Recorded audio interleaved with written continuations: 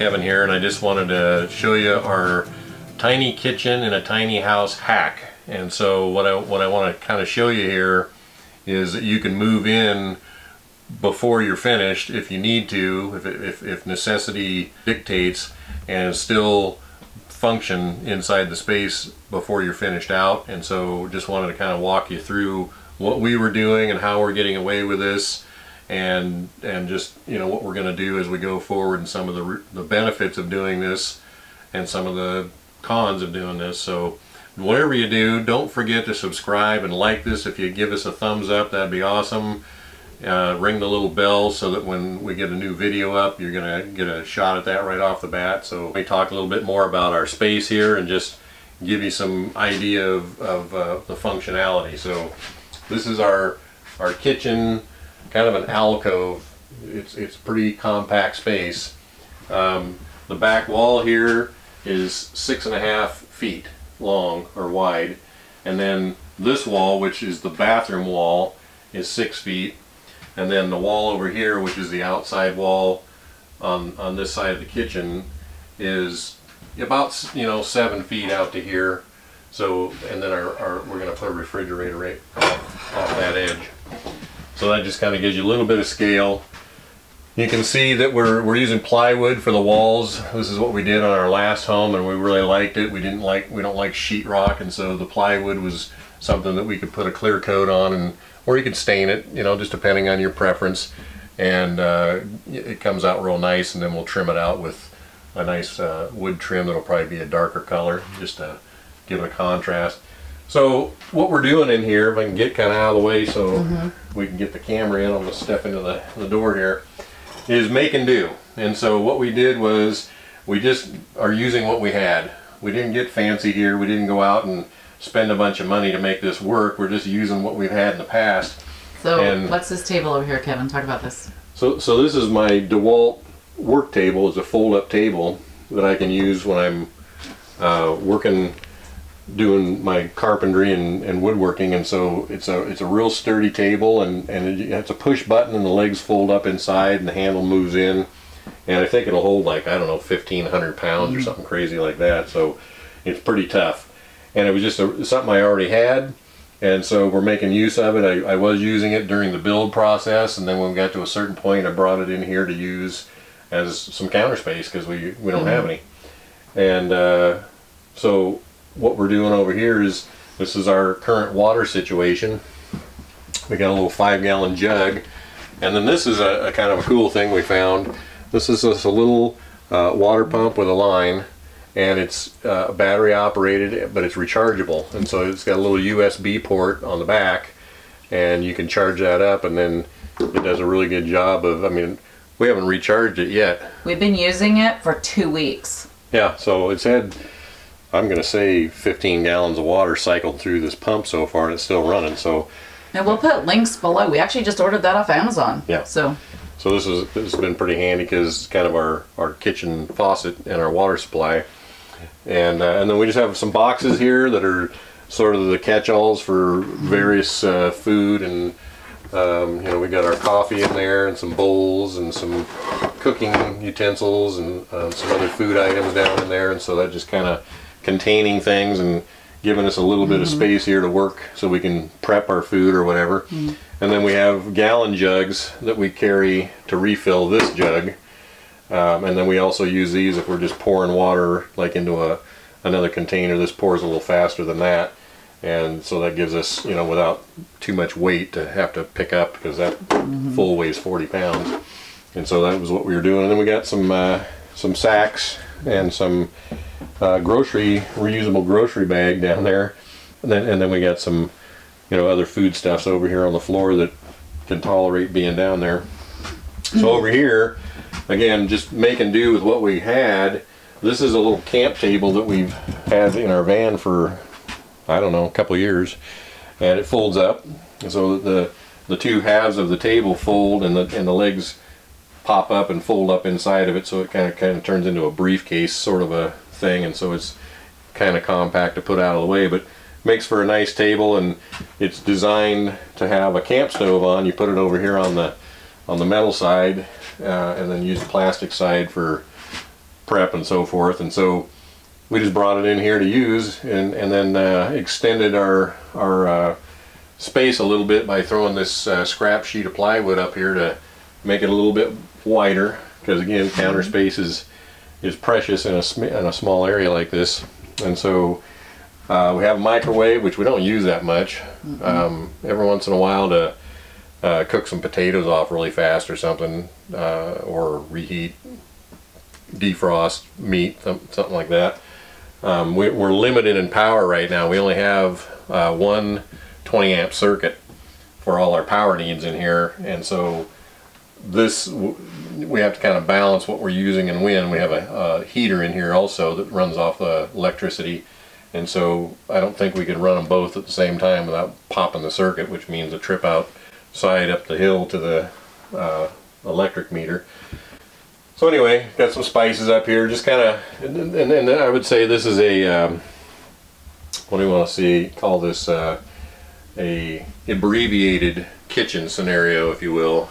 Um, just not a lot of uh, room for you know everything that we like to have, so we're just using the the bare minimum uh, accoutrements to, ki- to cooking right now. So just a little bit of spaces. Again, we don't have any real storage space, so we're just you know kind of stacking everything wherever we can and keeping it as handy as possible. But our main cooking is is using this uh, little camp stove, and we've had this camp stove for over 30 years, and it's older than my kids. And it's just it's just an old Coleman stove, and it, it just it's just bulletproof. They, they just don't wear out. And so that's been our we've had that thing in, in numerous uh, builds over the years. It's, it's our cooking stove for when we're out in our van going camping and traveling and whatever. So, I mean, it's just been been a, a, a trooper for taking care of things. And you know, we got a five gallon bulk tank down here instead of the little one pound deals because they just they're, they're expensive and they don't last very long. And so this is refillable. And it, yes, it's not supposed to be inside, and so you have to be careful with that. So we only usually eat once a day, uh, maybe make some coffee in the morning, so we just turn the valve off and make sure that it's not left open while we're not using it, and that kind of keeps it down to a minimum. And we uh, have it right next to the kitchen window. yeah, so we're vented, more or less. Um, and so yeah, so we got a little bit of uh, gear here. We got our trash bag and and you know just just kind of a bare minimum. So what's nice about this, the pro is, um, and we found this out uh, kind of inadvertently on our last build on the beach house. It's nice to get in the space and use it for a while before you kind of settle in on what it is you need or, or you think you want. you might have an idea, oh yeah, this is what I want all these cabinets and I want all this, you know, business in here. And maybe you find out, well, that's really not necessary. And um, maybe you, you find yourself, uh, once you've been in the space for a while, you start changing your mind on some of the things you thought you wanted to do or thought you needed. And so that happened to us throughout our build process at the beach house, and that's been going on here now too. So we, we've got some cabinets, and we're going to be putting them in. We haven't bought them all, and because we just didn't know how many cabinets we wanted to put in here. And we're limited on, you know, obviously space as far as how many, and this is a short ceiling.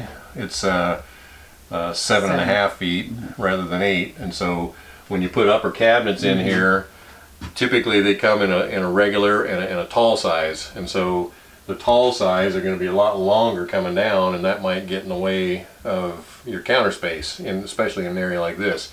We had tall cabinets in the beach house but we had full ceiling and so that worked out good because it gave us a little more storage but in here we're probably going to use the shorter uppers and, and then we're going to have to decide where we want them and so And if we want them, we're not even sure. We're trying to and so that. the other thing we thought when we first built this was we're gonna, you know, we're just gonna load this up and, and counters and go all the way around and and and maximize all the space in here.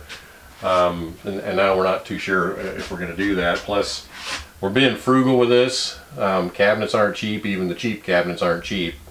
And we, we got some uh, unfinished ones that we just off the shelf cabinets that you can buy at the big box store because if you order them and have them made, they're, they're going to be more expensive. And so and take weeks. yeah, definitely. I mean, you're looking at uh, upwards of six weeks to get cabinets in, in some of these uh, styles and designs that they're they're selling in the stores. So anyway, we, we went down, we picked out the cabinets that will fit across this back wall and a countertop. And then we're going to put our uh, kitchen sink right here. And then we're going to have nice counter space right here. Now again, pretty limited, and so we're going to have to pick and choose. So one of the things that's going to happen is the microwave is going to sit over here on top of our refrigerator. We have a little 10 cubic foot refrigerator that'll sit about this high. It's like five feet, so right about here. Mm-hmm. And then I, I put in a plug outlet up here so that when we set the microwave up, it, it can be plugged in right there. And then the other outlet down here for the refrigerator. Mm-hmm. So we can have that. So that's going to sit right about here. We're not mm-hmm. sure exactly, but right in here somewhere to, be, to be determined. And it's not in here yet because we don't have the power for it and, and it just be in our way.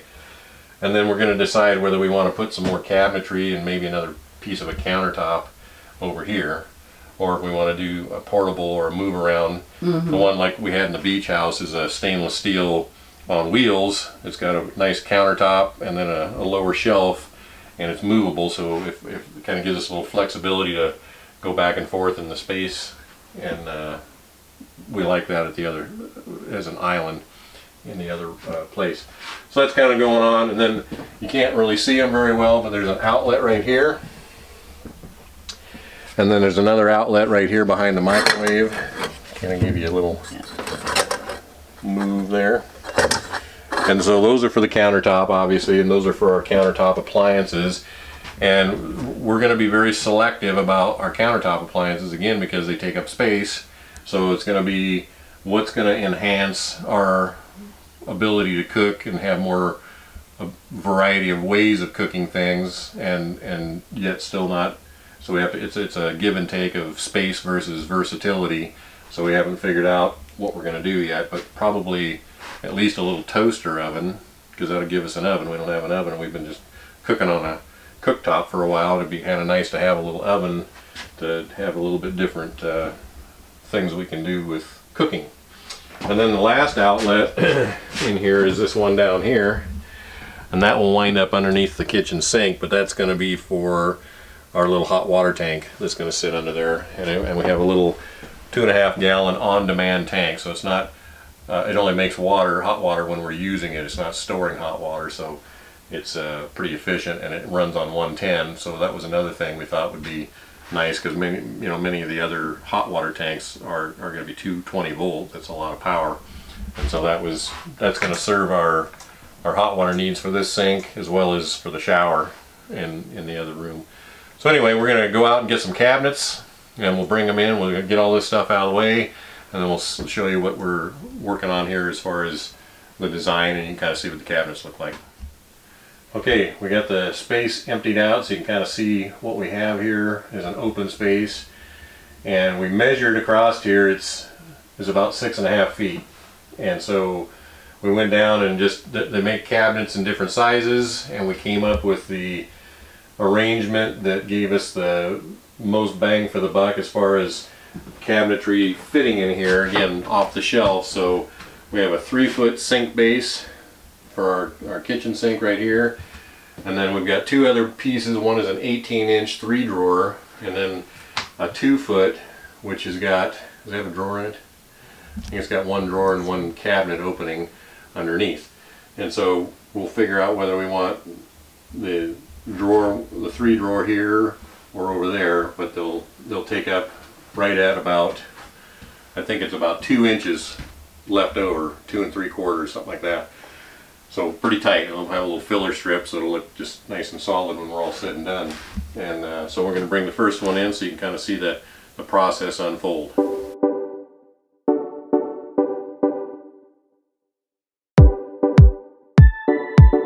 Okay, so what we got to do here is, is, you know, form meets function meets um, tiny space um, meets budget. Okay, so these are definitely budget cabinets. They're off-the-shelf cabinets, and so they're pre-made to common sizes. And and so you, you need to do one of two things, I guess. You need to maybe have the foresight to design this space before you build, or you work with what you have and then you fit what fits in the space. And so in this case, we stood there in front of all the different sizes that they had and looked at them and said, okay, what, what do we need to function in here and within our budget? So with these three pieces and the countertop we bought, which was a pre-made Formica, we paid $512, okay? That's what we've got so far. So we're going to cut the cabinet, or the counter, it comes in either a, they come in 6, 8, and I think 12 foot pieces. So this is six and a half feet, so we want to buy an 8 footer, we got to cut about 18 inches or 16 inches or something like that off. And so we can fit it in here because we want to maximize our counter all the way across. You also want to take into consideration knowing what the height and, and measurements of these basic cabinets are so that you, you, you can set your counter in here on top of it and not interfere with like putting in these outlets and so I know I have a, a backsplash that's going to come up right underneath here. So I need enough room for this thing to sit above there and put my cover on without it bumping into my uh, top of my backsplash. Hopefully I did that right because I was literally winging it. But I knew these are um, 34 and a half inches tall standard. That's a standard cabinet height.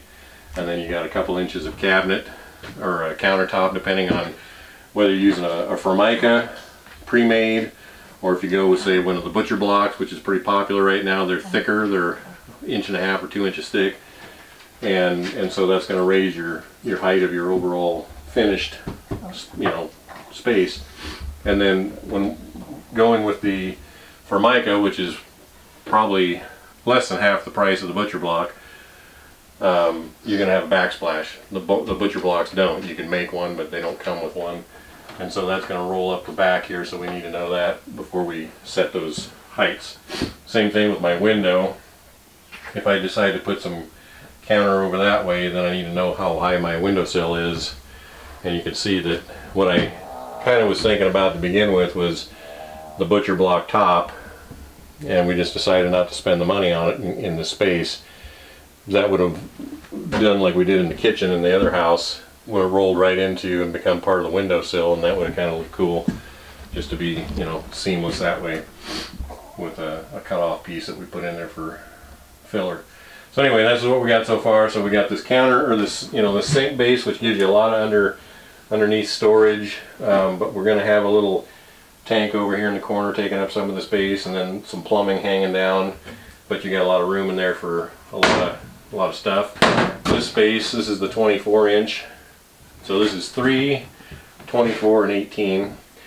And this has got a little shelf you can, it comes with, so you get a little half shelf that sits in there. Plus, we got a nice big drawer. So that gives us a lot of storage there for, you know, pots and pans and whatever. And then three drawers, two big ones and a smaller one over here. So we've got space for silverware and, and you know, smaller items that'll fit in the drawer, maybe, you know, containers and what have you. So I think we got a little bit of the best of both worlds, a mix of the three basic cabinets here. They make 12 inch cabinets, they make 15 inch cabinets, the two footers, the three footers. They do make some 32s, which would be a bigger version of this. It's got a drawer in it like this, so um, I, I would have preferred possibly, because we're only putting a single bowl sink in here, uh, maybe a shorter than a three foot cabinet on this side, and maybe a bigger over here with the drawer and, and so forth, but didn't work out because the 32s have a uh, upper drawer in them, so that doesn't work well when you're putting the sink in. So these are birch, uh, birch hardwood faces and again, most cabinets, until you get into some higher grade cabinets, are gonna, all the back pieces and, and everything else is gonna be particle board with a uh, sort of a photo finish, or it's not even a veneer, it's just a paperback that mock wood grain. It's all hidden underneath the cabinet, so you're not really looking at it, but it just gives you uh, a little bit of a water resistant finish. I mean, if, you, if water stands on it for a while, it will soak in, but that's standard cabinetry. Um, we got to level these we got to uh, screw them together and then attach them to the wall and then we can cut our countertop to fit and then we also going to have to cut a hole for the sink so we can drop that in. So that's that's a really basic sort of a galley kitchen, I guess, setup. And, and we'll probably put some uppers in. We just haven't decided what we're going to put up there. Wanted to get this in, see what it feels like. I think some uppers would be nice. I mean, you can put your dishes up there, you can put your spices up there, you know, things like that that you can get out of the way. Um, maybe not a full upper in front of the sink. They're 12 inches deep, so they're half as deep as these. These are 24 inches deep, these are 12 inches deep, standard. So that's kind of what we're playing with. So uh, we'll get the uh, counter cut and bring it in and we'll let you see what it looks like. Alright, so we set all the cabinets in. They're not fitted in. We just dry fit them in here just to see how they laid out. And we also went ahead and cut and dry fit the countertop. So again, it's not attached and we still have to cut out the hole for the sink. But we just want to see how everything fit in here and make sure we cut it to the right dimension and and we still need to finish the cabinet. So these are a birch uh, face, and so they take stain real well. And I think we're going to go with something darker that matches the trim around the windows and doors and so forth. And so that'll be a good contrast because we're going to just clear coat this, so that'll be lighter. And then we're going to have a uh, the floor covering is going to basically be between the two, so it's going to be a, a medium brown uh, and this will be a darker and then this will be a lighter. So I think it'll make a nice uh, contrast between. And then we we are going to get some upper cabinets. I think we're, we've already kind of figured out we want some more cabinet. We thought about putting shelves in and we may put a little bit of shelving in here too but we definitely like the idea of putting some upper cabinets in there for a little more storage space so we're to have to pull this back out, cut out the hole for the sink. We need to stain these and then attach them and, and level them up and put them up against the wall and then reinstall the counter. So that'll be the next uh, part of the project.